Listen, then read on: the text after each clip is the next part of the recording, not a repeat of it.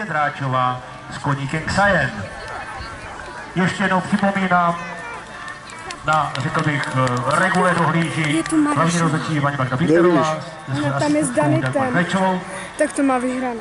A tato dvojice je připravená, aby mohla hodnotit další soutěžící Nikol Konvičnou s koníkem Janka a jak jsem už hovořil o tom, jako další se připraví Patricie Dráčová s koníkem Ksaje.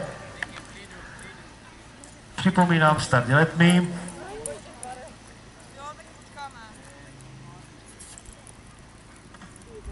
Takže Nikol Konvičná s koníkem Janka, náročné rychlostní trati, soutěže polveny. Samozřejmě při sledování jednotlivých soutěžících si všimne klasického, řekl bych, klasické výstroje, oblečení jezdce, alfa omega, samozřejmě účast v těchto rychlostních a nejen rychlostních disciplinách. A připomínám, Nikol Konvičná s Niangou v druhé půli rychlostní závodu polverník. Samozřejmě na dlouhotrvající budovy podleskem hodnotíme její přístup a vystoupení v této rychlosti soutěži polverny. A voláme další soutěžící, není to nikdo než Patrice Dráčová s koníkem Ksajen a připraví se Zbigněk Straka s koníkem Pepi.